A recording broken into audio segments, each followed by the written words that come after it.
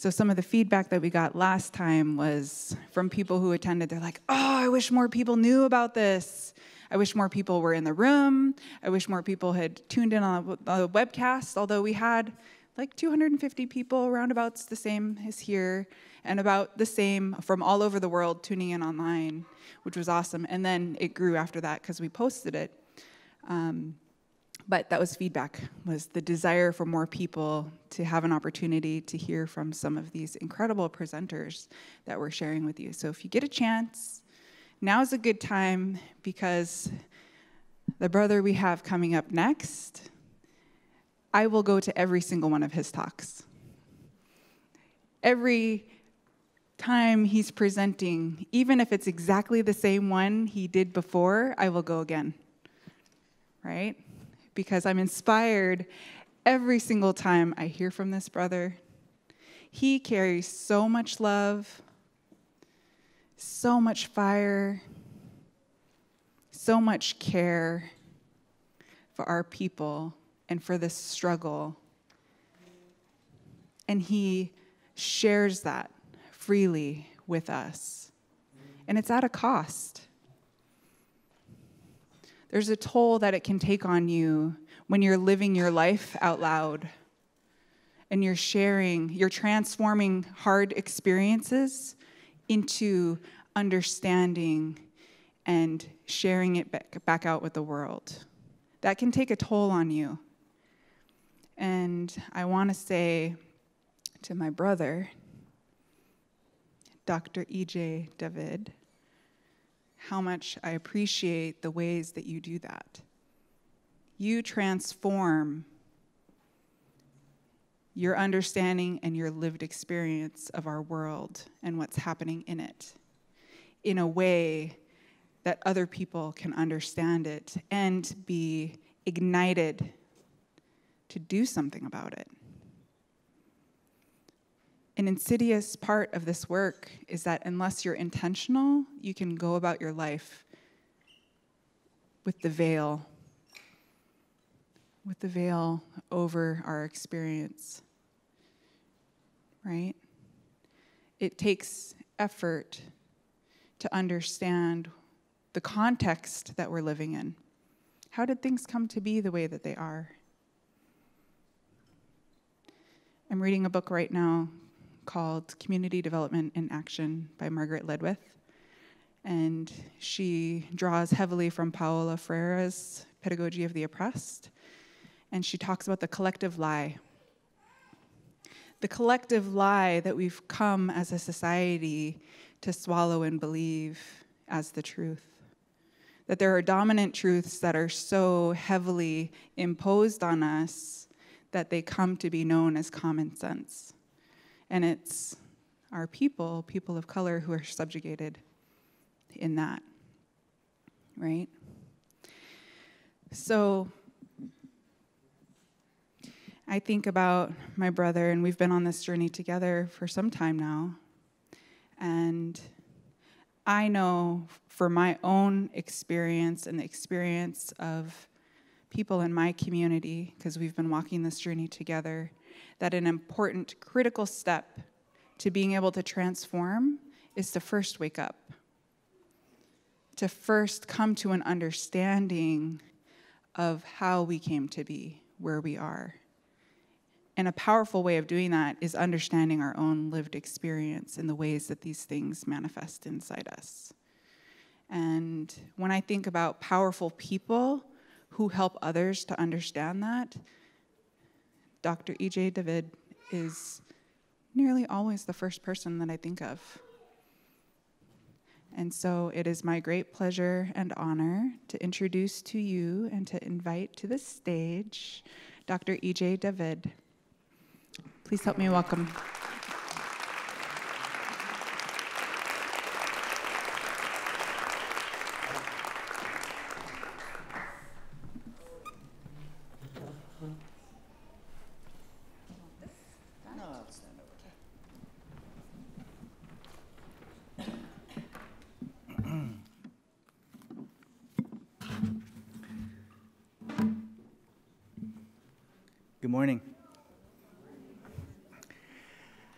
First of all, I just um, want to say thank you to the indigenous people of these lands, um, to the Tlingit Haida Tsimshian people for allowing us to, to have these conversations um, here for a couple of days. Um, so in my language, maraming maraming salamat po sa inyong lahat. Um, I also want to pay my respects to the elders here today. I am very honored to share the same space with you all. And I also want to acknowledge all of you and all the other speakers, all the workshop facilitators. Um, thank you for all you do for our communities. I appreciate everything that you all do. And uh, I also want to thank Ayu for that beautiful introduction. Now she hyped me up, so I don't know if I can, if I can live up to that hype. Um, but yes, I, I, appreciate Ayu. Ayu also is, is a very amazing um, worker um, in person and just passionate about these issues as well. Um, so I appreciate her. I also want to really especially thank uh, First Alaskans Institute for putting this together and for getting all of us here together and making this happen. So please, let's, let's give them a round of applause.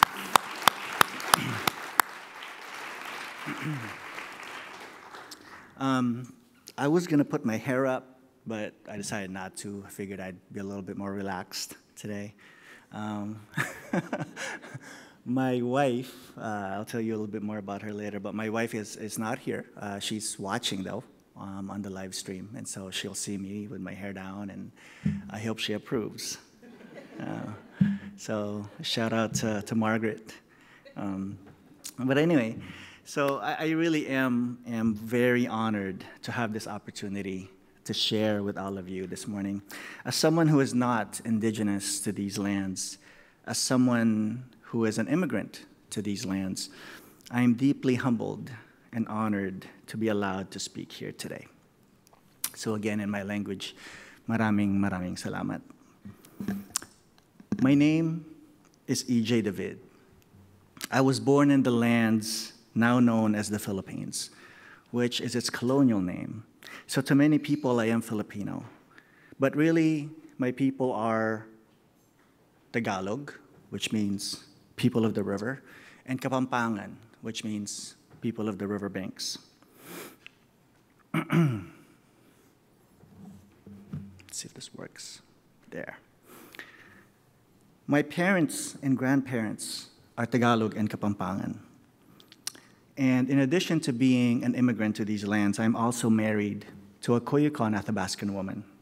And together, we have three Filipino and Athabascan children. I call them Philibaskins. and even though they're not physically here with me right now, they're always with me. My family's reality is that our lives is a product of both indigeneity and immigration, two concepts that seem opposite and irreconcilable. So it is from this perspective, as an immigrant Filipino man with an indigenous family, that I speak to you all today. As an immigrant, my first language was Tagalog. And even though I have a pretty good grasp of English, because I also grew up with that language due to American colonialism, my native language is Tagalog. And I'm lucky in that sense. I never learned Kapampangan though because I grew up in Metro Manila, which is a place where the legacy of colonialism persists strongly to this day. And I'll get to that here in a few minutes. So given that English is not my first language, there are still moments when my accent comes out, when, my, when I mix up my P's and my F's, um, and when I mix up my he and my she and my his and her. Um, anyone here know Filipinos? you probably know what I'm talking about. Go to a hospital, you'll probably hear it. or, yeah. Um, sometimes I tell my daughter when she won't finish her food, I'll say something like, Come on, come on, my daughter. Come finish your food. Look at my daughter. He's not finishing his food. That's how I mix up my peas and my he's and my she's and my. Anyways, so that's, that's what it is. so, anyway, I'm just letting you know all of these things now in case my accent does come out. Um, or if I mispronounce some words, or if there's something that I say that you can't understand, or if I make some grammatical mistakes. It is because I'm Filipino. It is because English is not natural to me. I want to make sure, though, that I make it clear that I'm not apologizing for them. I'm not apologizing for my mistakes. I'm just simply letting you know. And there's a reason. There's a reason why I don't say sorry for making these mistakes anymore. I used to, but not anymore. I used to be so apologetic and hard on myself for making these mistakes when I mix up my P's and my F's and my he's and she's. I used to feel so bad and embarrassed. And I was also hard on other people and other Filipinos when they make these kinds of mistakes. I teased them, I laughed at them, I didn't want to be associated with them. I, it wasn't until I became an adult and got an opportunity to learn more about my culture and our history when I realized that these mistakes were not mistakes, but instead they are little ways in which my roots are coming out of me. You see, in my indigenous language, we didn't have the F sound. We have the P sound, but not the F sound. So making the F sound was not natural to my mind and my tongue. It was not indigenous to me. So my difficulties with the F sound was my roots coming out of me. It was like my ancestors reminding me that they were still in me. The same thing with the he and the she. I used to see my mixing them up as embarrassing mistakes until I learned that in my indigenous language, we don't have male and female pronouns. We don't have separate terms for different genders.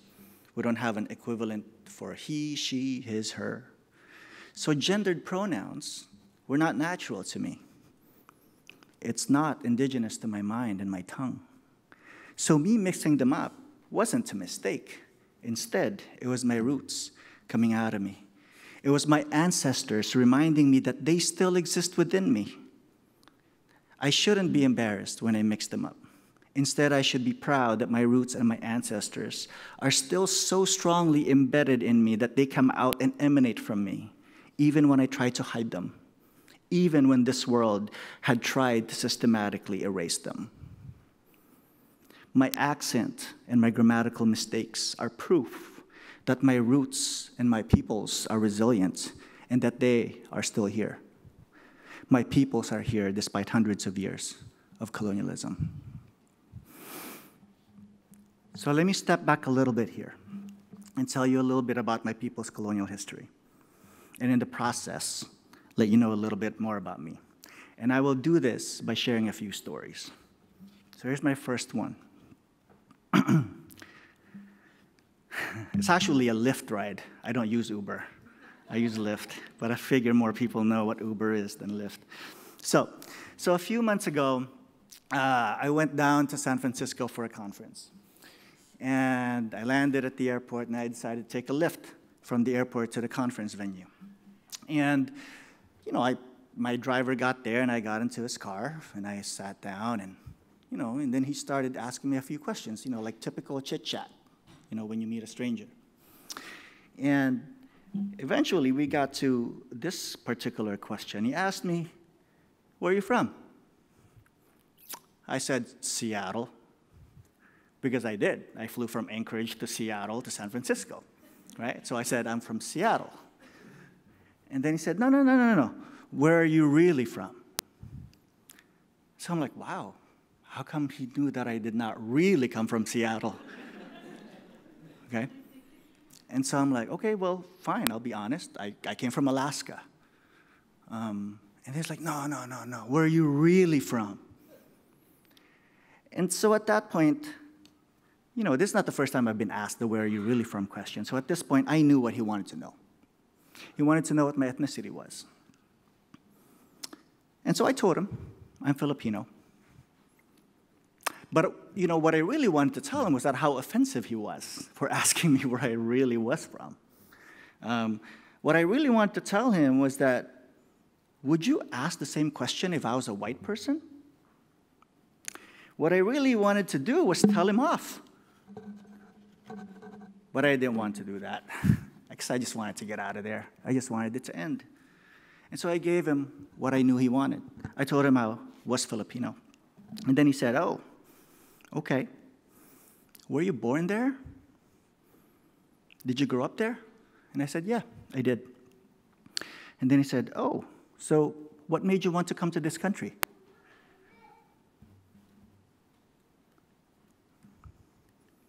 He asked me, Why did you come here? You know, and for many immigrants, the easy answer to this question is that we came here for a better life. The answer tends to satisfy whoever is asking the question. And because I really did not want to have any conversation with this man anymore, I just wanted to end it. I gave him this answer. I said, I came to America for a better life. You see, the reason why this answer satisfies many Americans is because it fits their worldview, their belief, perhaps their delusion. They believe that life in America is better than anywhere else in the world. And so by telling them that I came here for a better life, it automatically makes sense to them. They believe that life in other parts of the world can no way be better than life in America. This is why this answer automatically makes sense to many people. But you know what I really wanted to tell him? What I really wanted to tell him in response to his why did I come here question was that I'm here because when I was four years old, my father left us, his family that he loves, for a better life here in America. What I really wanted to tell him was that when I was six years old, I fell in love with G.I. Joe toys. And every month, my mom would take me to a store in the Philippines to buy me a G.I. Joe action figure. And every time she would try to buy me a G.I. Joe action figure, she would try to bargain for a lower selling price. And my mom is the best bargainer in the world. But she would always lose to the clerk because the clerk would always tell her, But ma'am, you can't sell these things for lower because these are made in the USA. And so then the messages that I got from these experiences every month was that anything that was made in the USA was better than anything that was made in the Philippines. And that anything that was made in the Philippines was of poor quality and for the poor. And that anything that was made in the USA is better. What I wanted to tell my Lyft driver was that when I was 11 years old and I developed my first crush ever on this neighborhood girl, that's me wearing the number nine basketball jersey. And that's not really the girl I had a crush on. But I found this photo, and I'm not even sure if I was 11. So, um, and I went, I went, I went, I went, I ran over to my sister, my older sister. She's about, you know, six years older than me. And I said, hey, you know, I think I like so and so. And she was like, oh, okay. Well, here's what you need to do to make her like you. You need to go to our bathroom, go into the medicine cabinet, and start using that bleach in there to whiten your skin. The message I received was that for me to become attractive, I needed to get rid of my brown skin. And this is not just from my sister. This, is, was, this, this, this message came from many people and many um, um, contexts in the Philippines. In the Philippines, it's common to see skin whitening clinics and skin whitening products being sold and advertised to everybody, like lotions and soaps and even pills. Today, you can even get an IV drip to whiten your skin in the Philippines. What I wanted to tell my Lyft driver is that I'm here because all of my years going to school in the Philippines, I was taught that English is the language of the educated. What I wanted to tell him was that I'm here because my parents and my grandparents were taught that America is the land of milk and honey, that it is the promised land and the land of opportunities. What I wanted to tell my Lyft driver was that I'm here because when I was only 14 years old and my brother was eight, my mother sacrificed and put her two young children on a plane to cross the Pacific Ocean, not knowing if she will ever see them again. Because she believed that there were no opportunities for us in our homeland, and that there are more opportunities for us here in America. I wanted to tell my Lyft driver that I'm here because my mother made the sacrifice of sending her two children away to go to a place she had never seen and didn't know if she will ever see because of a dream and a belief that life here is better.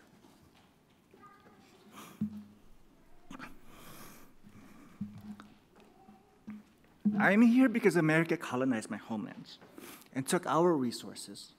I'm here because of US colonialism, of cultural genocide and racism. I'm here because America exploited and inferiorized my peoples.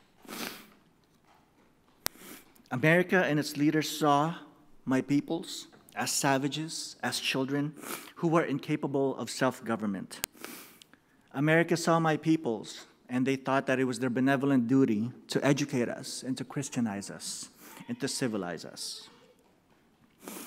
I am here because America taught me that my language and my worldview and my culture and ways of doing things are not as civilized as the American way.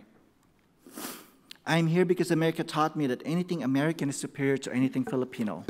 I am here because America taught me that coming to America is our measure of ultimate success.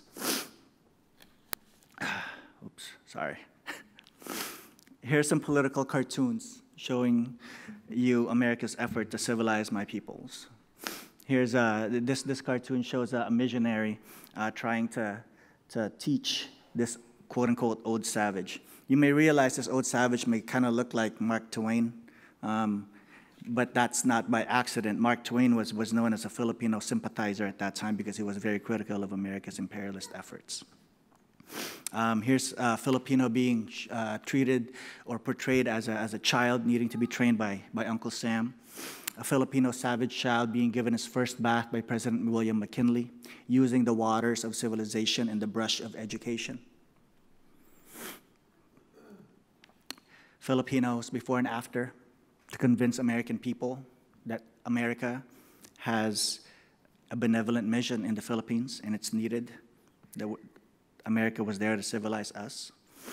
Um, and not only that, uh, to further convince Americans that, Ameri that the United States has a benevolent mission in the Philippines, they brought, as you can see right here, um, 700, or actually 1,200 native Filipinos from the Philippines and brought them to St. Louis, Missouri for the 1904 World's Fair.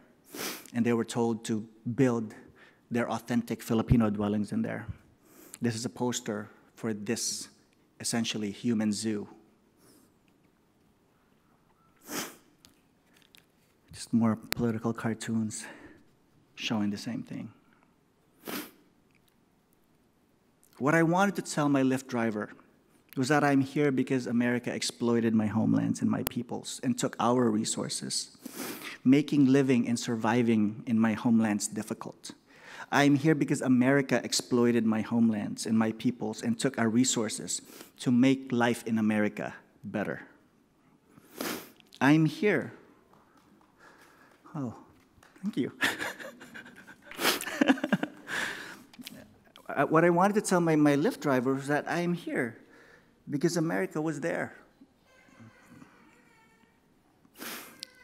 I am here because America colonized my lands, my peoples, my minds, and my heart. What I wanted to tell him was that even though my country ended being a colony, does not mean that colonization stopped. Just because our colonizers left doesn't mean that the legacy and stench of colonialism also went away. As Frantz Fanon said, imperialism leaves behind germs of rot, which we must clinically detect and remove from our land, but from our minds as well. What I wanted to tell him was that America left germs of rot that has been causing my people devastation for generations now. So, yes, I am here because America colonized my peoples and left our minds and lands rotting. And I am not unique. My peoples are not unique. There are many other people who are here from different parts of the world, and they're also here because America made life in their homelands difficult. They are here because America took away their resources or meddled in their affairs in one form or another. We need to see these links between us. Those of, our, who are those of us who are immigrants here need to see the links between ourselves. And all of us need to see our similar struggles under American colonialism and imperialism. As Asata, Assata Shakur said, any community seriously concerned with its own freedom has to be concerned about other people's freedom as well. The victory of oppressed people anywhere in the world is a victory for all oppressed people. Each time one of imperialism's tentacles is cut off, we are closer to liberation. Imperialism is an international system of exploitation, and we, as revolutionaries, need to be internationalists to defeat it.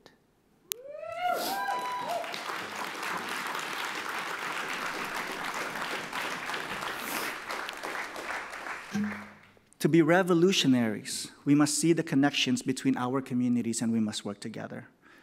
Those of us who are not indigenous to these lands, as much as we advocate for immigrant rights, we need to stop saying things like immigrants make America great or America is a land of immigrants. These things are simply not true and further propagates the myth that America was discovered by white people. We cannot advocate for immigrant rights at the expense of further erasing the indigenous peoples of these lands. And those of us who are born here, maybe even indigenous here, we should also remember that many immigrants are here because America was there. Immigrants are here because America colonized other countries or interfered with other countries or took other countries' resources and exploited their people we need to see these similarities between our experiences and our struggles. And here, as we can see with immigration and indigeneity, even between two seemingly irreconcilable things, two seemingly complete opposites, we see that there are links. Which brings me to my next story Standing Rock interview. So, back in November 2016, um, during the height of the Standing Rock movement, my wife and I uh, joined our people over there. And because of my involvement there, some Filipino American media wanted to know more about my experiences there and, you know, just learn more about what was happening there. So they asked me many questions, um, but one question stood out. they asked me, Why do you care about Standing Rock? Why should Filipinos care? about Standing Rock. Now, other generic answers came to mind for why I went there, like the movement in Standing Rock is about clean water, clean energy, and the environment. But what I ended up sharing with the media was that we should never forget that fighting over 500 years of colonialism, genocide, and racism are huge parts of the Standing Rock movement, too. And so I told them that I went there to resist oppression. As a Filipino immigrant, as a settler in these lands, I went to Standing Rock because the same idea of manifest destiny that was used to steal lands from our native brothers and sisters is the same manifest destiny that was used to justify the colonization of my peoples. I went there because the same notion of benevolent assimilation, wherein our native brothers and sisters were forced to attend boarding schools to erase their culture, was the same benevolent assimilation that was used to miseducate Filipinos and inculcate Filipinos with notions of American superiority. Here are some links showing you the similarities between the Filipino and uh, Native American experience. Here's a, a, cartoon showing a Native American man telling a Filipino man and a Hawaiian uh, woman, um, I see you're finished. Here's another one. Um, here's a native man talking to a Filipino person over the telegraph saying, Be good or you will be dead. And you can see Hawaii waiting in the background there. Um, I told you about the 1904 World's Fair in Missouri, um, but not very far from here. In 1909, during the Alaska Yukon Pacific Exposition in Seattle, they brought Filipinos there too, similar to what they did in St. Louis, Missouri, but they also brought um, Alaska natives uh, down there to be shown off to the American people. Here are some photos of it, of the villages that they were told to build in the expo. Here's a Filipino and native child together during the same expo in 1909. Uh, Filipinos, uh, children uh, being watched by Americans at the expo. Here's more photos of that. so I went to Standing Rock because as an immigrant, I acknowledge that I'm not indigenous to these lands. In fact, many of my 4 million peoples are recent immigrants to these lands. So it is important that I pay respect to the indigenous peoples of these lands, empathize with them, and stand with them as they continue to resist the colonization of their lands and the oppression of their culture. I went there because my peoples share a similar struggle with our native brothers and sisters today in terms of fighting against con continued colonialism, cultural genocide, and racism. I went there because I now see the truth that my struggles for equality as an immigrant person of color is tied to, perhaps even dependent on, my native brothers and sisters' quest for equality in their own ancestral lands. Because how can I, an immigrant to these lands, how can I expect to be treated with equality and humanity if those who are actually from these lands are oppressed? This is why I went to Standing Rock. This is why I work with First Alaskans. Some photos. They're great people. Um, this is why I helped um, with making sure that our state officially recognizes and celebrate Indigenous Peoples Day, which is coming up in a few weeks here. We need immigrant Indigenous solidarity now and for the next 10,000 years.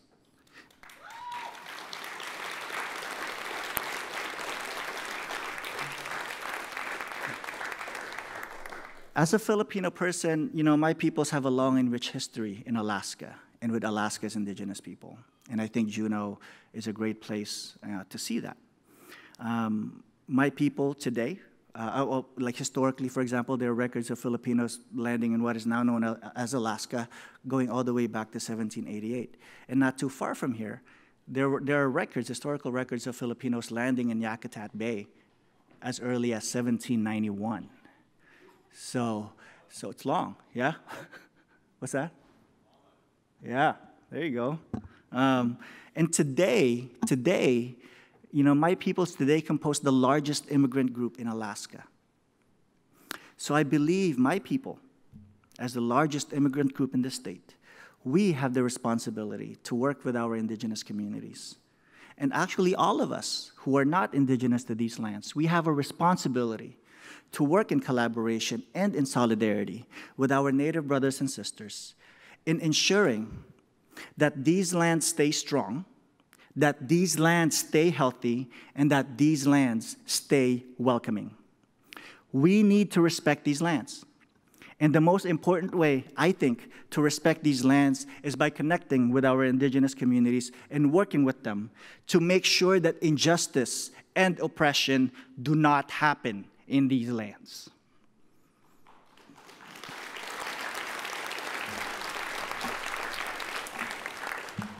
Now, this, yeah, so we must fight oppression, which brings me to my next story. I thought about reinventing the wheel. There's this one TV show that I watch. Um, it's about lawyers, and the lead character is a woman. And in one of the episodes, uh, there was a like a scene where she was working with a panel of, of nine judges, and all of the judges were male, and she's the only woman in this committee, and all of the other judges who were part of the committee have been part of this before. So they've done this before. And the woman is the only new person in this committee. This is her first time deliberating a case with them, you know, and so as they were hearing evidence for this case and hearing testimony, all the other judges just, you know, keep passing on their opportunities to ask questions. Like somebody will ask them, Judge A, do you have a question? Be like, no. Judge B, you have a question? No. Okay? They're just going through the motions. They've seen this before you know, they were just doing the same thing that they've done many other times before. So the woman lawyer, however, was the only one asking questions and actually was kind of, you know, quote unquote, disruptive, according to the judges. And so after one of their meetings, one of the judges took the woman lawyer aside and talked with her. And he said, You know, you don't need to try to impress us. And the woman lawyer said, I'm not trying to impress you. And then the judge said, Well, then you don't need to keep asking those questions. Just follow the procedures, go through the motions. We've done this before, it works. You don't need to keep asking questions, even challenging some of the decisions. You don't need to reinvent the wheel. It's a wheel, it works, he said. Right? So, see, many of us in this room, you know, have heard that saying, don't reinvent the wheel. And for the most part, it's well intentioned, and for many cases, the wheel does work. But for all of us here, as people who care about social justice and who are fighting for social justice in our communities, we know that there are many wheels that don't work. In fact, many of us know that many wheels have been oppressive. In fact, many of us know that the wheel has been running us over. So, oppression is the issue. Oops, sorry. Research is quite clear on this, right? Racism is related to poor mental health and well being for peoples of color, sexism is related to poor well being among women, homophobia is related to poorer well being among LGBTQ people, anti immigration attitudes related to more stress levels among um, immigrant people. So, it's clear oppression negatively affects the lives and well being of people. It is not surprising then that those of us who have been historically and contemporarily oppressed because of our culture, race, ethnicity, the color of our skin, our gender, our sexual orientation, where we were born, we tend to experience higher levels of this and that. It is not surprising that we face so many issues in our communities. It is not surprising that oppressed groups tend to have higher rates of various health and social problems. And this is not because we are inherently inferior or weaker. This is not because there's something wrong with us. This is not because we are not resilient enough. We need to be clear here. We have these problems in our communities because of oppression, because of oppressive wheels. Now, I want to say something here, real quick. Whenever I talk about oppression, colonialism, and modern day oppression, Many people always say something like, You paint people as victims who have no control over their lives. People always criticize me for this, for focusing on oppression and for focusing on the issues that we face in our communities, telling me instead that we're resilient people. I know that. I, need, I really need to clarify almost every time that I never have doubted people's resilience and the ability to control their own lives. In fact, it is colonialism and oppression that does that. Colonialism and oppression inferiorizes people. Colonialism and oppression regard people as incapable. Nevertheless, historically oppressed groups have continued to survive despite systematic oppression. People, our people, have proven our resiliency over and over again for generations. So resiliency is not the issue, oppression is. We don't need to keep proving how resilient we are. The world needs to stop oppressing us.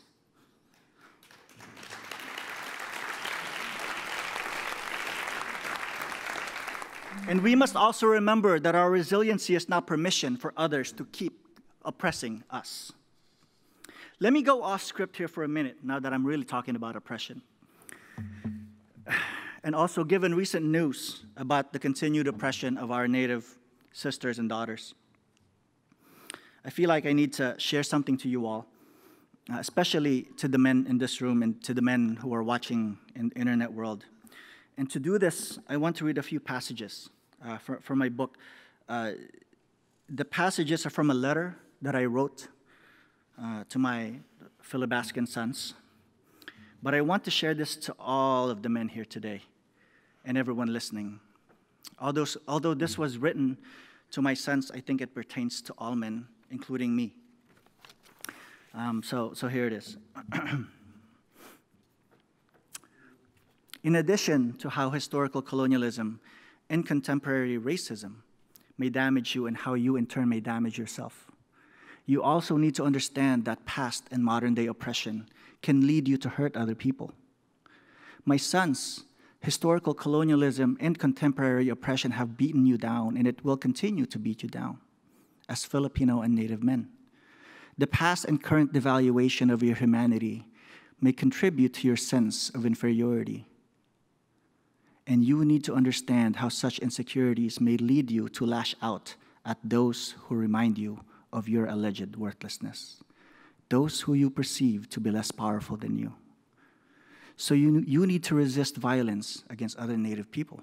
You need to resist violence against other Filipino people. You need to resist violence against women and children. Research shows disturbingly high rates of intimate partner violence and child abuse among our communities. And in many of these cases, the perpetrators of violence and abuse are men. And there's also the epidemic of sexual assault and abuse, a large percentage of which are committed by men against women and children. In our home state of Alaska, the rate of reported sexual assault has continued to grow over the past 50 years to our current level of nearly three times the national average. And these are just the reported cases. Research shows that at least 60% of all sexual assaults go unreported.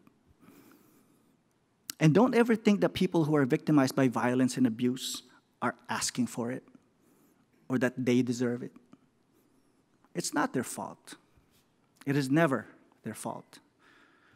Never believe the victim blaming narrative that is perpetuated by this society. How victims were behaving, and what they were wearing, and what they were drinking, and what they were saying, and whether or not they were walking alone in a dangerous neighborhood, and whether or not the victim has a past and whether or not the victim has self defense training does not matter.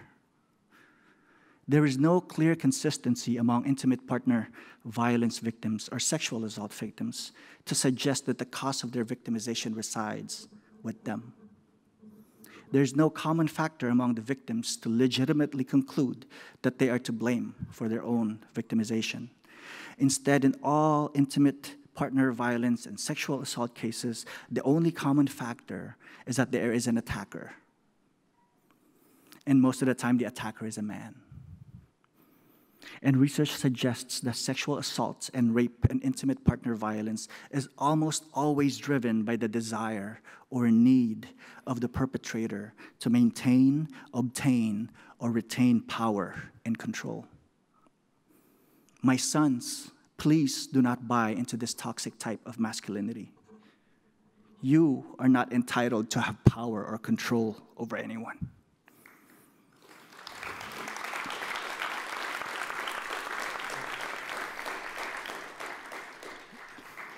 You do not have to dominate anyone to be a complete man or to be a complete person or to prove anything to anybody. You do not have to validate violence or show a potential to commit violence in order to be respected. Do not view women, LGBTQ people, and other peoples of color, human beings that this world will try to convince you to see as inferior, as inherently being less than you. My sons, it's completely okay to be afraid, to admit weakness, to be caring, soft, tender, and vulnerable. These do not make you less of a man. Instead, they complete you as a human. You need to understand toxic masculinity and identify it when you see it so that you can protect yourself from acquiring it. Toxic masculinity is harmful not only in terms of how you see yourself as a person, but it is also deadly in terms of how you regard and interact with other people in this world. My sons, I understand that this world has and will continue to try to emasculate you, challenge you, anger you, agitate you, and force you to react violently, especially toward those who this world prescribes as less powerful. The oppressive systems in this world will try to convince you that the source of your problems is the other oppressed groups in society instead of oppression itself. This is how racism intersects with sexism and other forms of social group of oppression. I understand that for many generations now, this world has taken so much of your power. But you must resist. And always remember that exerting abuse and power over the marginalized and vulnerable, or anyone for that matter, does not make you more powerful. Please, my sons, don't try to reclaim your power this way.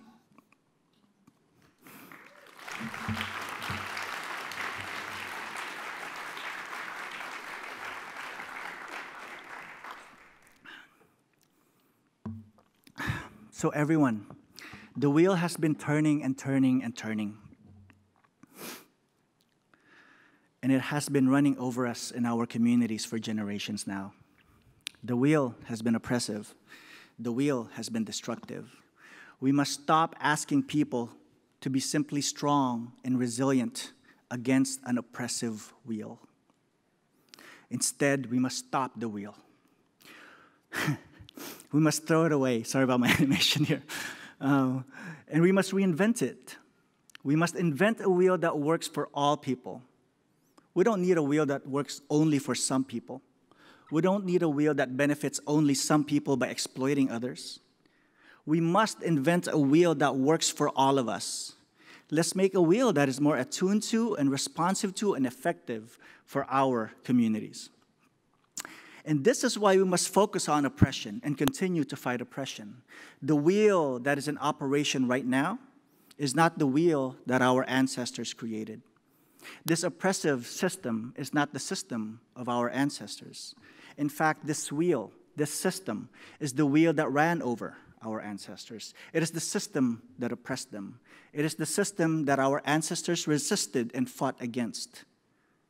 So, what we all do as social justice doers fighting oppression is honoring our ancestors because we are continuing their fight. This is really the main reason I do what I do today. As a colonized man, I do this because I want to help my ancestors and continue their fight, to help them heal. So not only are all of us linked because we are experiencing similar struggles and because we are resisting similar oppressive systems, we are also linked because our ancestors fought the same oppressive systems. Our ancestors are also linked to each other, just like all of us are linked to each other today.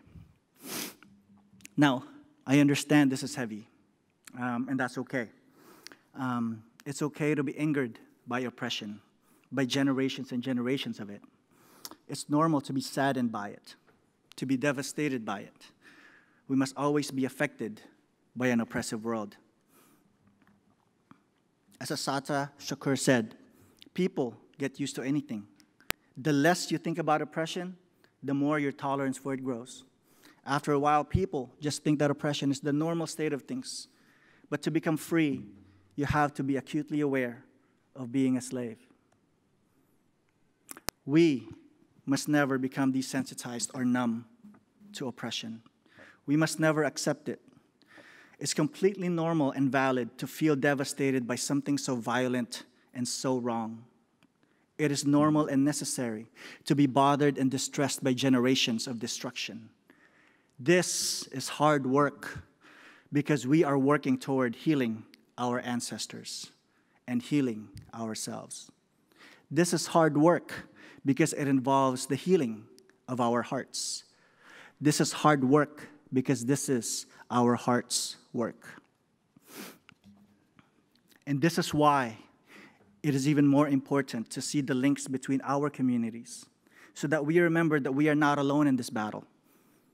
And if we see the truth that all of us are linked together in this struggle, then we become more powerful. Then add on the truth that our ancestors are also linked with each other and to us, and that they have our backs, then we realize that we have superpowers. We are never alone. Anyone here know Voltes 5? No? I guess that's just the Filipino in me who grew up in the Philippines. But anyway, Voltes 5, it was a cartoon uh, that I grew up watching in the Philippines. And there were five of them, uh, heroes, I guess. And in the beginning of each episode, they would try to fight the enemy as, as individuals. And eventually, they will all lose. But by the end of each episode, they always end up coming together. And their catchphrase when it's time to come together was let's volt in. The catchphrase of let's volt in would be called out when the team would finally unite together and merge into one giant robot. You see the robot there a little bit. Um, to, to defeat this monster alien that they're trying to fight, right? But, you know, so for us, I think this, this, this metaphor applies. If we, because, you know, we need to volt in, but we're trying to be revolutionaries, so for us, it's, it's re-volting in. so, so, so in short, right? It would be like collaborating and congregating people from different backgrounds and walks of life into one powerful entity. With all of us together, plus all of our ancestors together, we can stop this oppressive wheel. I mean, look at that, right? Look at that. Look at us. That's us, right? what chance does an oppressive wheel have against that? Okay? With all of us together, we can, we must stop the wheel and invent a new wheel, a wheel that is fair and just and equitable. So, yes, when we see our links, we become more powerful. And when we look into our past and harness the strength of our ancestors, we become even more powerful. And you know what else can make us even more powerful? The young people. We become powerful by connecting with the past and also by connecting with our future. And the importance of empowering the next generation brings me to my last story. So, just last week, my youngest child, who is in kindergarten right now, had his first official school picture day. Um, so to him, it was, it was a special day. And for school picture day, he insisted on wearing a barong Tagalog, which is similar to what I'm wearing here now right? This is uh, one of the traditional clothing of, uh, of the Philippines, uh, specifically the Tagalog people, okay? So here's what he looked like for his school picture day, okay? That's him, right? Look how proud he is, right? And so happy to be rocking that barong, right? Eh? So I didn't bring up the idea. I didn't even mention this at all to him. It was all him. It was a special day, right, when his photograph would be taken. You know, his teachers told him that. And so then his first automatic thought was, I must wear a barong Tagalog. This is normal for him. You know, that's just how his mind and his heart is naturally shaped right now. And that's amazing. You see, when I was young, I didn't have the courage to wear a barong Tagalog in the US school system. I didn't have pride. I was worried that people would tease me and make fun of me. My mind and heart was shaped to automatically be ashamed and embarrassed of my culture. My mind and my heart was shaped to automatically second guess, rethink, and hide my roots. And it's amazing that in some small way, things seem to be different for my son. So it is very powerful for me to see this because it tells me that the little things that I do is making some effect. You see, I fight against oppression today so that my children can be proud of their culture, of their roots, of their heritage. And I know that I'm able to fight against oppression today because I learned that my ancestors also fought against oppression. So, just like our ancestors made it clear to us that they fought, we need to make it clear to the next generation that we also fought.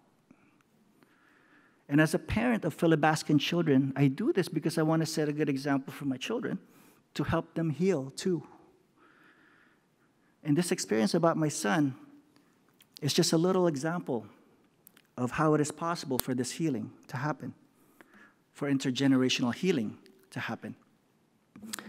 As Grandma Rita Blumenstein said, we are our ancestors.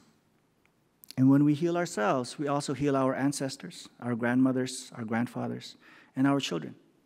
When we heal ourselves, we heal Mother Earth.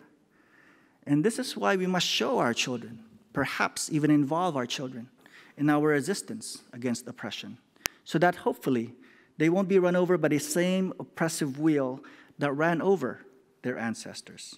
At the very least, I hope that they will at least see that their ancestors and their parents fought against this oppressive wheel.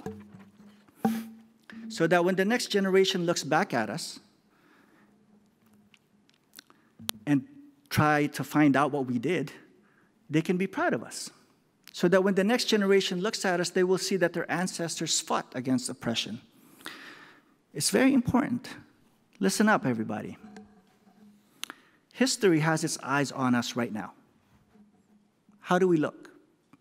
I'm going to repeat that again. History has its eyes on us. How do we look? One very important thing we can do right now so that history will show that we did something to disrupt the wheel is to support and lift up our young people. We need to tell them and show them that their roots is their strength. We need to tell our children that their cultures, their languages, their perspectives, their worldviews, their dreams are all sources of strength. We must tell children that their roots is their superpower. So, to the children here tonight, there's a few. I saw a couple earlier. Your roots, your culture is your superpower. Make sure you don't lose it. There'll be times when this world will pressure you to lose your culture. There'll be people who will tease you, make fun of your accent, make fun of your values, your food, your languages. Please resist them. Do not give in. Remember that you have your ancestors and they got your backs. And so, yes, your culture and your roots is your superpower. And make sure you use it for good. Because just because you have superpowers doesn't mean that you are superheroes. To be a superhero, you need to use your superpowers for good. So please use your superpower for good. Use your culture to make our communities, our world, a better place. And to all of us here, we must use our roots to empower our children. And when our children are empowered, when our youth are empowered, then intergenerational healing will happen. When our youth are empowered and when they are healing, then our communities will be powerful. And when our youth believe that they matter, then our communities will matter, our perspectives will be valued, and our voices will be heard. When our young people are allowed to dream, and when we help our young people achieve their dreams, then our communities will be strong. When our young people harness their superpowers, and when they believe that they are capable of doing great things, like stopping an oppressive wheel, interrupting it, breaking it apart, and inventing better, equitable wheels, then our communities will be healthy. Thank you all so much. Maraming maraming salamat. Gunalchéesh. Thank you for hearing me out.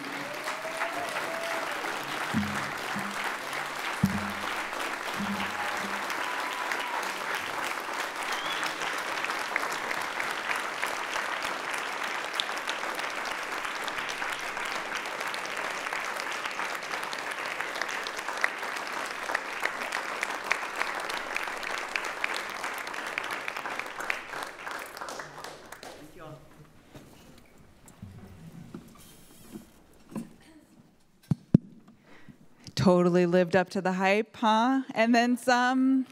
Can we give him another round of applause?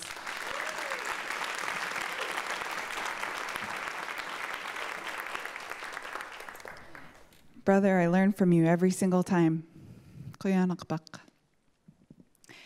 I, um,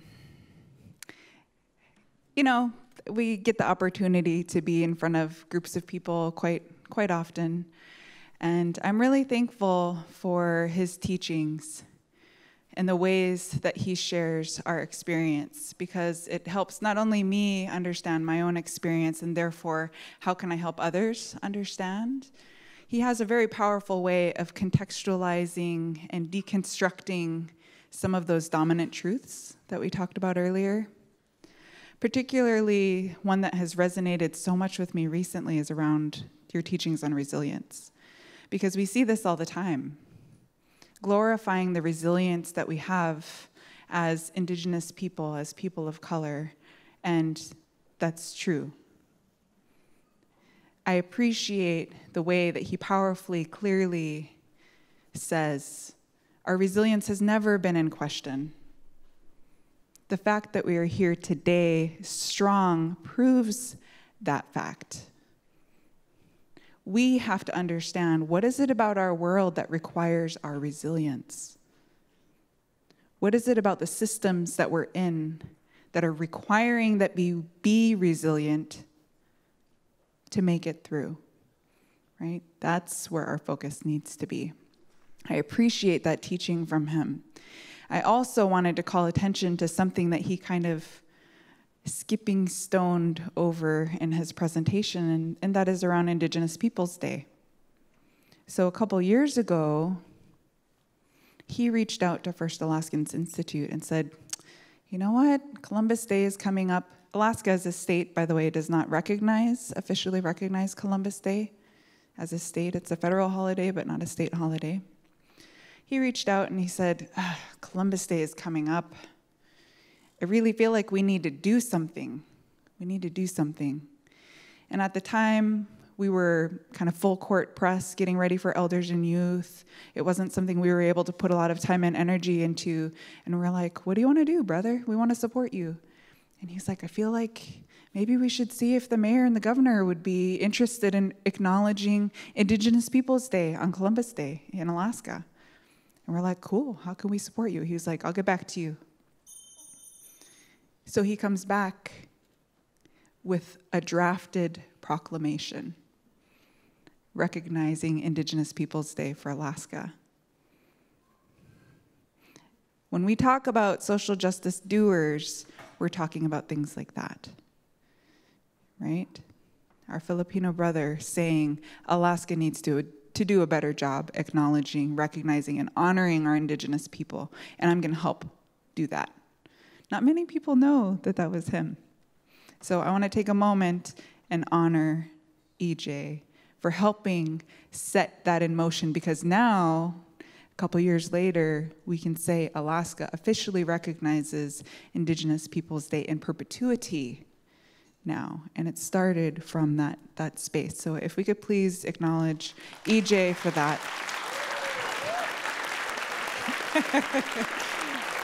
He's like, why are you clapping for me? Acknowledging your role in creating Indigenous Peoples Day for Alaska, the first state to officially recognize it wholesale. There are a lot of cities um, there, are a lot of, there were a lot of efforts all over the state with school districts, Nome, Sitnasuak, and others. Here in Juneau, UAS, I know a lot of efforts were made um, within our different communities to help that make that happen. So I wanted to acknowledge that um, and honor it. And also to pick up on the healing that he spoke of. The healing that he spoke of at the end, which is so beautiful. When you posted that picture of Kalu on the on picture day, I cried. It's so beautiful. Sometimes we see the healing of our people in real time, and that's a beautiful thing. We were recently on Prince of Wales Island, and, and we were doing a, a tribal court circle peacemaking training and Uncle Mike Jackson of Kikwan shared this, which I want to gift to you because I received it as a gift. He said, When our people are fully restored to who we really are, it will be as though we have been for all time. Our healing will be that profound and complete. That's what we're working toward. Yeah. We would like to create a little bit of a space at your tables to spend a few minutes being able to talk with one another about some of the things that we heard and reflect for a few minutes just kind of hear from each other. What did you what did you hear? What did you receive from what has been shared so that we can learn from each other? Yeah at our tables. We'll do this for just a few minutes and then i'll invite Klin and or Agathak up to help lead us into our workshop sessions. Okay, but for right now, let's just spend a few minutes kind of reflecting on some of the things that we heard and gained from that experience. Hi, everyone. So, I really appreciated yesterday when we had a chance to hear back from some of your table discussions. So, if there's anyone who wants to share anything profound that was shared, some of your insight, your response to what we've heard this morning, uh, we'd love to hear from you before we move on with our workshops. So, IU has um, a microphone. Just raise your hand if you're interested in sharing some of your reflections back.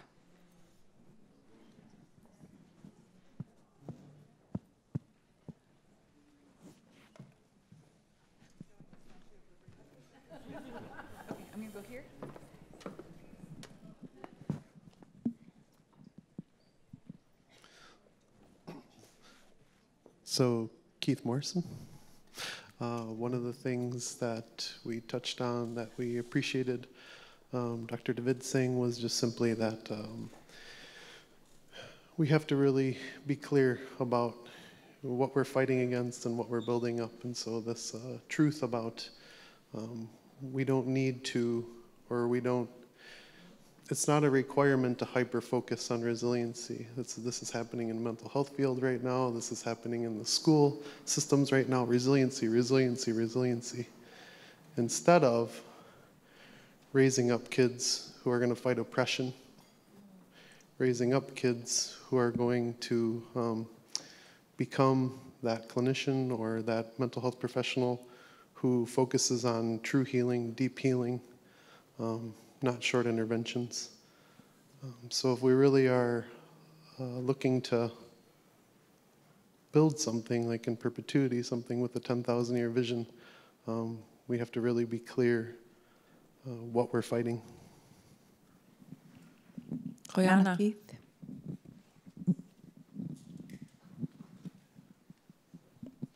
I love that. Melissa Johnson, Ketchikan. And one thing that I realized is using our muscle to speak truth, I guess. So when I think about like we have, which I call Native November school board meeting, out in the Native communities, instead of using that as something where we show our beautiful culture and dance, but use the microphone to address issues that need to be addressed in a very kind, eloquent way. And I think listening to the two different speakers is their ability to use their words in a nice, way. I come across pretty probably aggressive. I mean, that's just my personality. Very competitive, to the point, super fast, super loud, and sometimes you have to find a place where you can speak truth, but do it in a place not of anger, but of advocacy. And so I always have a difficult time with that of am I aggressive and angry or am I being an advocate and how do you how do you change from being angry to an advocate. So those are what I learned listening to those two people. Um, I would add to that and say yes, and we need help with more people helping to rise up against the tone police. The ones who will say, I'm not going to hear you because you're angry right now and it's offending me. It's making me uncomfortable because you're angry because our anger is justified. If you don't know that, if you don't feel that, receive that from me right now. Our anger, our hurt, our grief, being pissed, being hurt is justified. Right? The more that you learn, the more that you know. There's a reason that we feel these things. It's normal and it's okay, right? In some spaces, it requires that we put on a way of saying things a certain way to be effective. Our people who can, in their fire, say things in another way, we need that too. And when you hear people who try to push down the expression of our anger and our hurt, we need more people to step up and say, uh uh-uh. uh It's okay that they're angry. Of course they're angry. Why aren't you angry? right? We need more people helping to say that anger is justified. Let's do something about it instead of the collateral damage continuing to be us having to swallow it because that hurts us. Yeah? So it's both.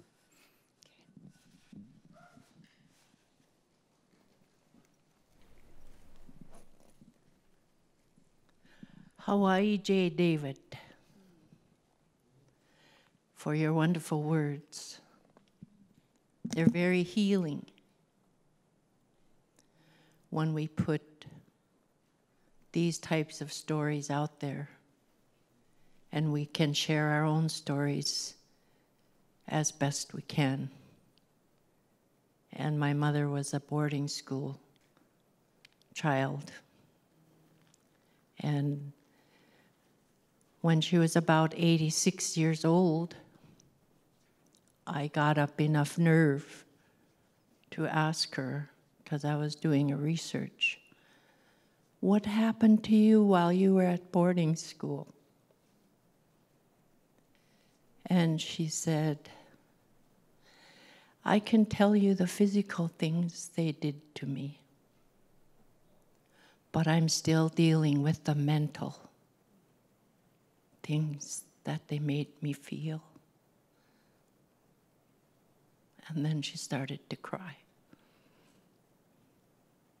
She went to boarding school when she was 10 years old with only speaking Haida. So, Hawa, for sharing your story. So, my mom, I could share my mom's, uh, because she couldn't put words to it. So, Hawa.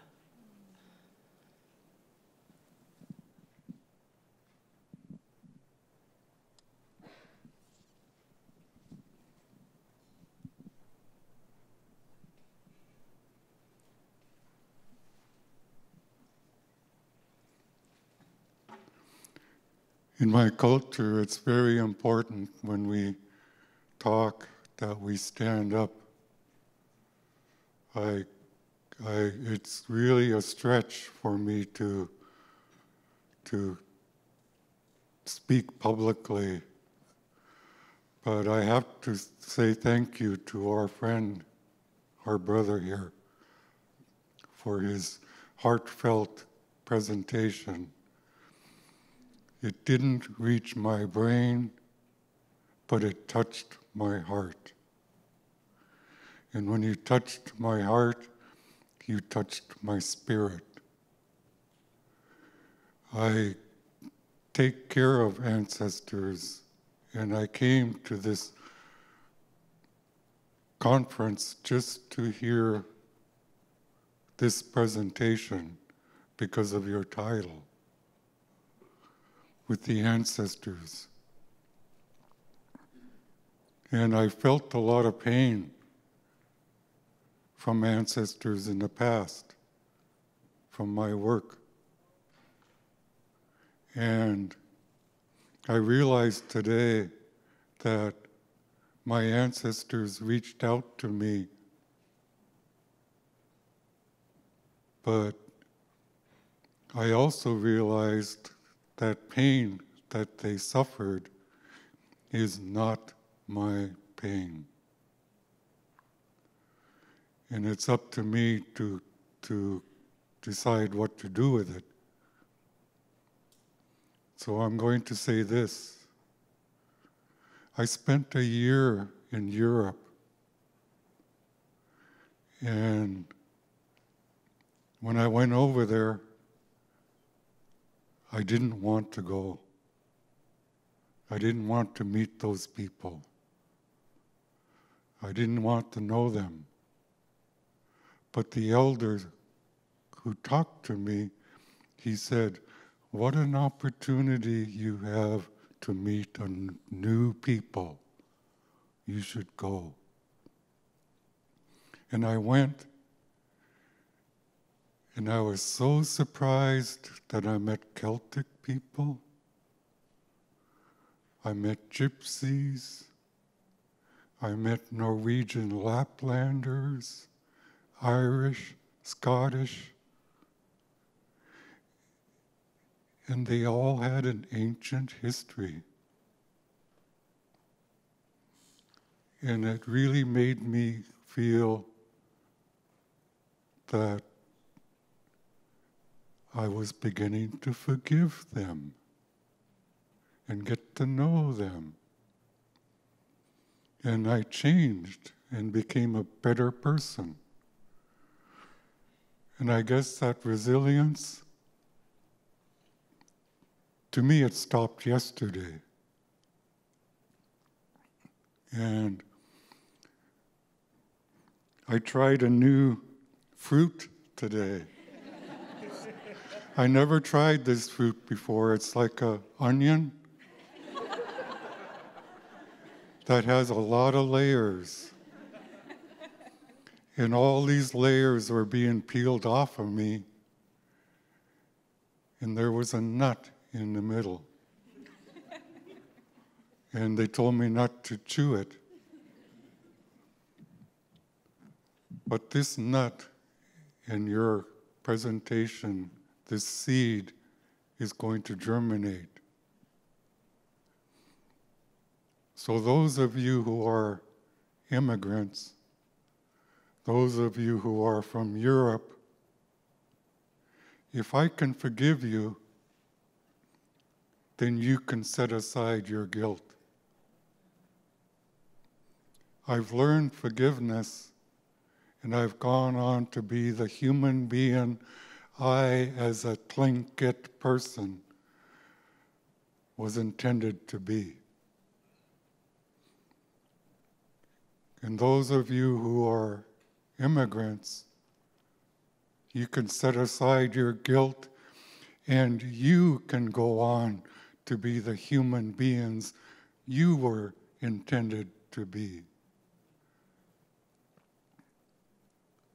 My grandchildren are mixed, but I tell them there's no such thing as mix. We are all human beings. And my daughter is very proud to be Tlingit. My grandchildren, I have a new grandson and another one coming. So I just want to introduce myself to my brother over there who has shared his wisdom for us to become better human beings. Because it's a two way street. It's a two way street. When we get our power back, everybody gets their power back. So I just want to say thank you. I I've been a quiet guy for a long time, and when I get the mic, I, it's hard to give it up. so I just want to say thank you to the elders. When you mentioned elders, I looked around. Where's the elders? I didn't look in the mirror. And I'm a new, I'd like to say, I am a new upcoming elder. So I'm just like a little kid, same as a small child. And so I just want to say thank you to First Alaskans for bringing the best out of me. Thank you.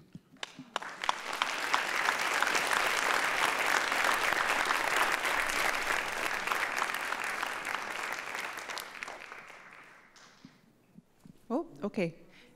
Um, let's do two more. Oh, there's, well, I don't want, okay, I can't say two more, but let's, hold on, let's take a moment. Remember our agreement to value each other's time, because I want to hear from more people, but we want to make sure that we get to hear from all the folks who want to share. Okay, can you help us with that?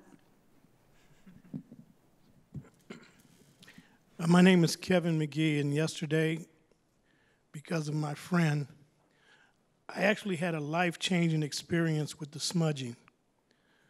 I had been holding in for 34 years the sexual assault that occurred to my daughter when she was 12.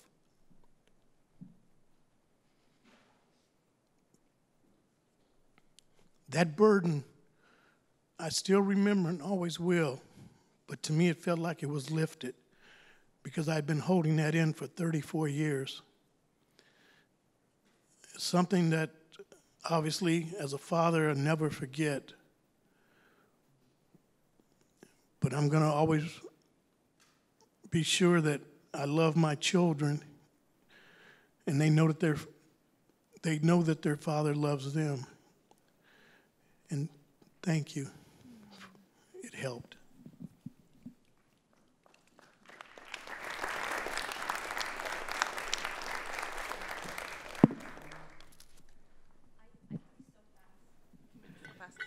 And then there.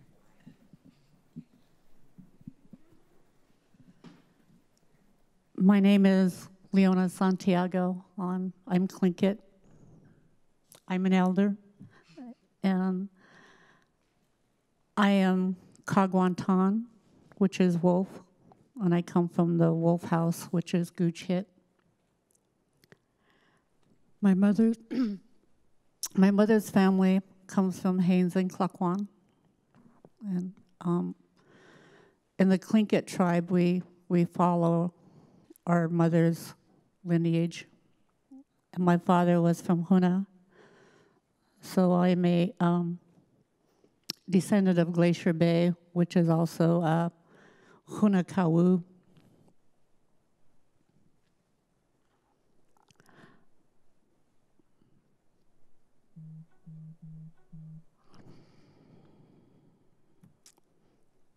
You brought out a lot of feelings sharing your history and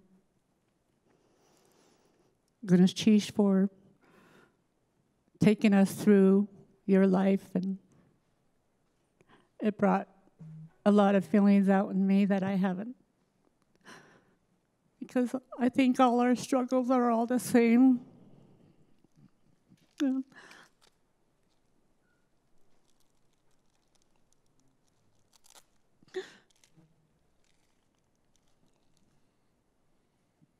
It's really good.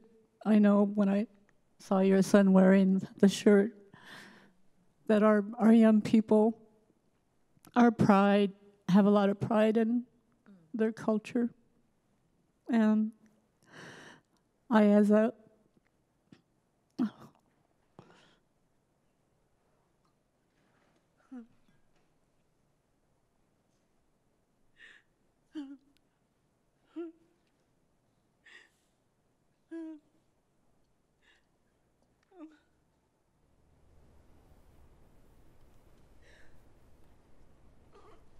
as a cultural leader and a song and dance leader, I, I really praise our young people. And it's really good to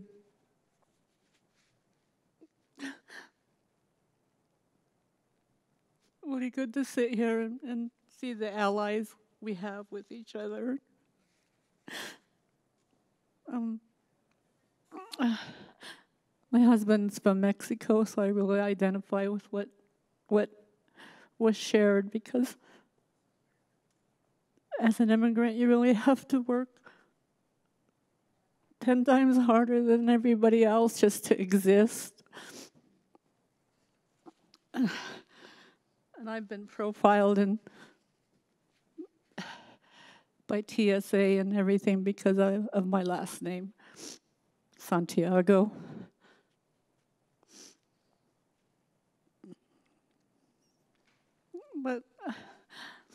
the fact that you went to Standing Rock, Gunalchéesh,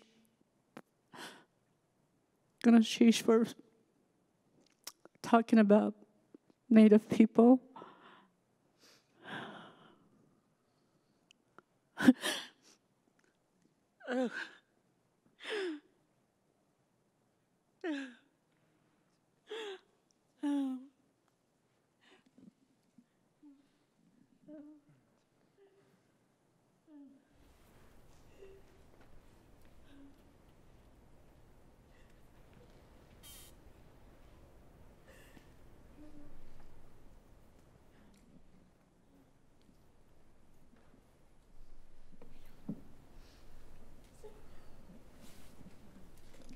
Nishchi Leona.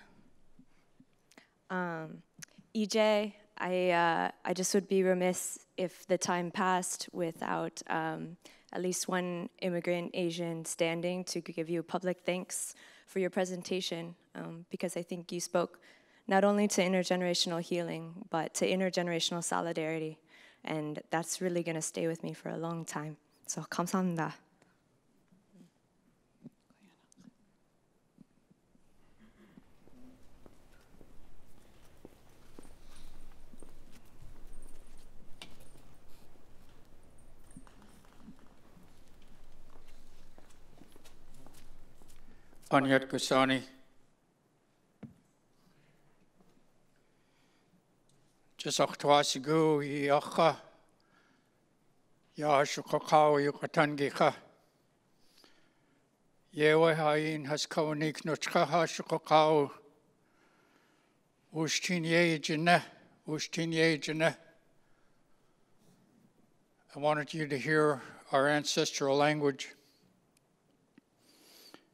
And some people may say Anyat Kusani is the children of the land, but it's a ceremonial word.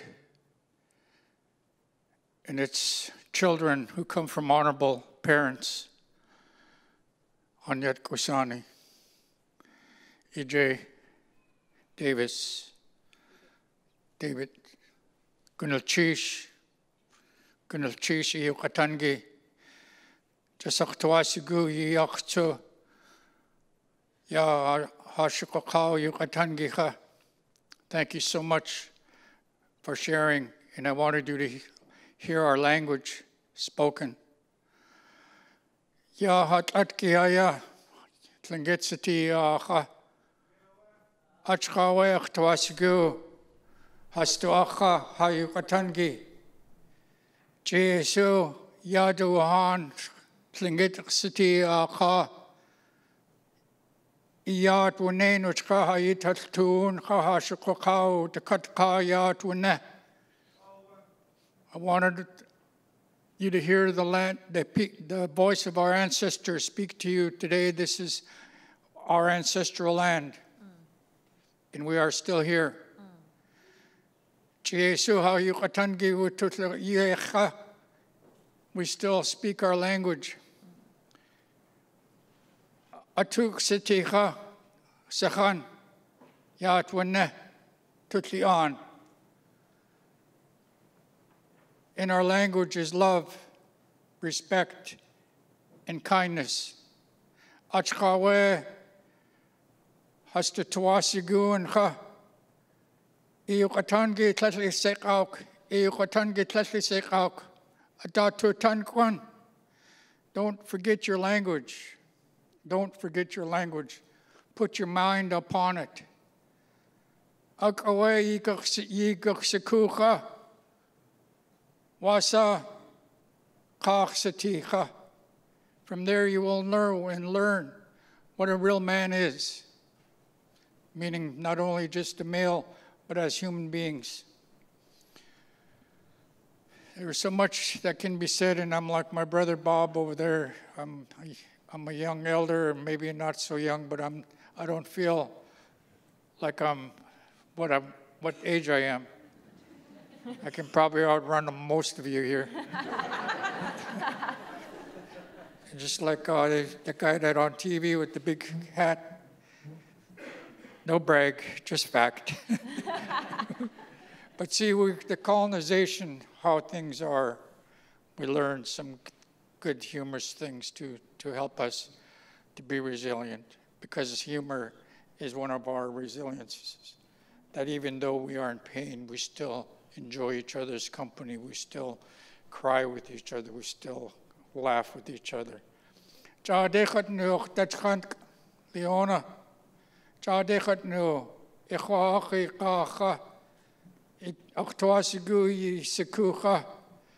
She's my granddaughter. Her grandfather was my clan brother. That's why she's my granddaughter. And I have another one over here, Tlakwak Shah. And I have another Tlakwakadi, but he's not, where is he? He's standing there. He's someone to look up to. Paris Kachadi. But we were the same clan. We migrated out of the same area. But I want to say what you talked about, I shared with her yesterday, and I shared with her. I don't want to sound abrasive. I don't want to say sound condemning, but I want to say it in a way that help us to heal, to understand each other. Because I come from a generation that's very old.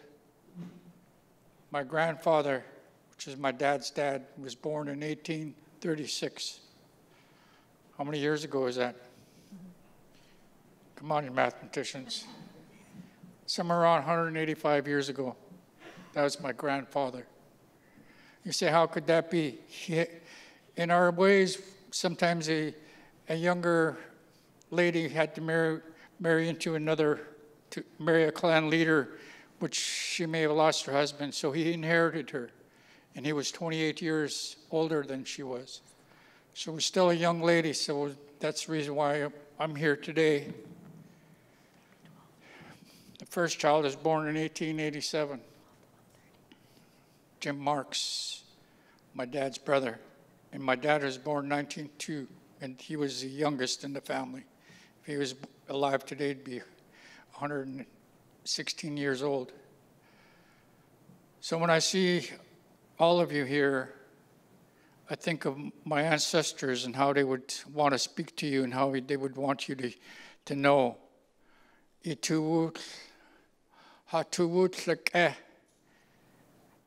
Yidatra. We are so proud of you. We are so proud that what you're doing and the work that you're working towards is what we've always wanted and we wanted to work towards and tried to work towards for the time that uh, colonization came upon us. Trying to educate them when they think they were trying to educate us. And yes, we faced a lot of trauma. Maybe Leona doesn't remember this, and I'm trying to respect your time, but I think it's important our clan, the Tlaquahari clan, was up in Haines area, and an elder told a story that when they put the fort up there,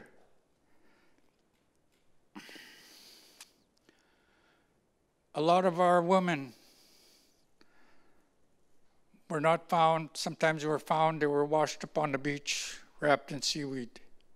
Sometimes they couldn't find a woman, so they'd search for them and look for them, and they'd find them in the forest, naked, dead.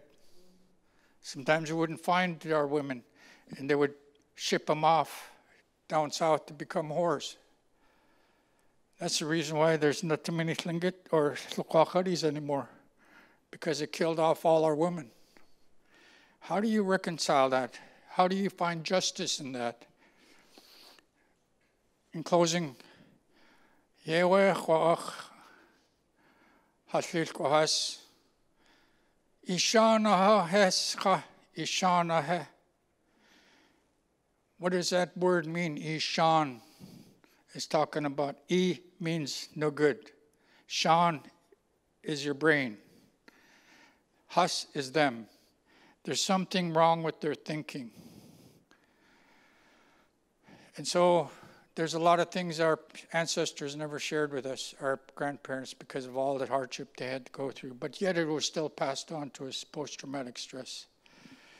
In closing, I have nephews, nephew and niece who are half Filipino. My oldest sister married a Filipino, and your story brought connection for me reconciled a lot of misunderstandings for me.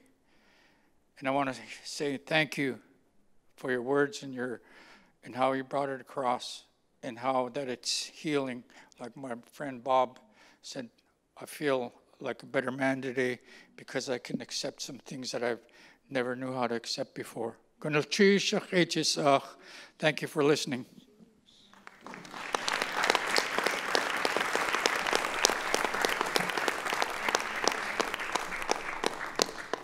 Okay, this will be the last one, and then we're going to transition. Thank you. Uh, I'm going to stand over here. Hi, my name is David, and Um, these words that EJ spoke spoke directly to my heart because as the words flew out of his mouth, it was as if everything that I've ever lost come back to me. And so I'm grateful that you brought that, you know, that you gave me back that power that I was missing because, uh, yeah, I thought I, for a long time, I thought, um, I, you know, I came to terms with what I had lost, what, you know, my struggles, but it just reminded me that there, there was still something that I was, you know, that was hurting. um,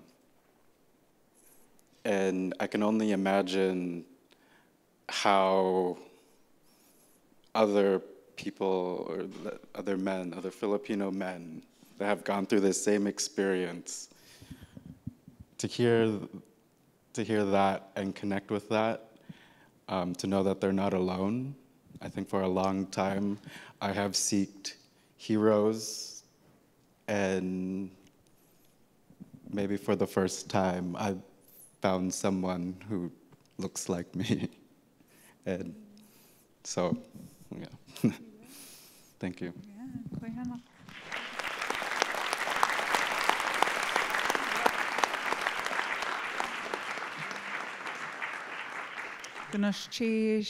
how I'm so glad my brother got to be loved up because he gives a lot of himself. You could feel it. I know that you experienced it in what he shared today.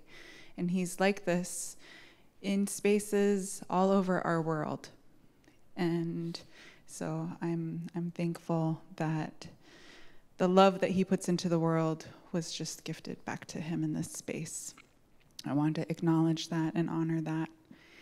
I also want to say that usually when we put together an agenda, we do not put times. and there's a reason for that. We don't like to be constricted by a very Western mindset of time because we slow down and we do what needs to be done in the time it needs to be done. And we're doing that. So I want to acknowledge that the way that it looks, the flow in the agenda, as we said yesterday, is malleable. It will continue to shift. So I just want to, to honor that and say we needed to do what we just did and to express my gratitude to each of you for sharing with all of us what you have because it was a gift for all of us. I will ask Kunmigu to let you know what it is that we're going to do next, what our plan is um, for the next transition.